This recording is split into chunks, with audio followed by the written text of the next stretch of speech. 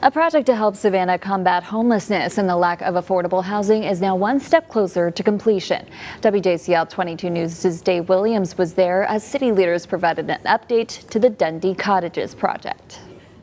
We now have water and we now have sewers and we now have curbs, and the work can begin on the um, above ground construction.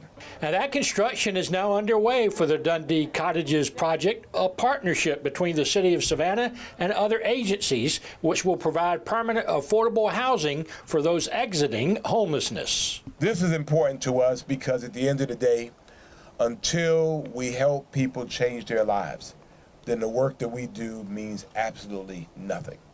And this is life changing work. This is work, not words, and I'm so proud. This is my baby, y'all, and it happened here in the third district. And if it can happen anywhere, then we can push this out in all the districts here in Savannah. When this project is complete, some 39 cottages will sit right here on this property, but it will service many more people than that. This community actually will help 120 people in total. These houses will help house approximately 120 people, depending on the iteration of that particular family unit.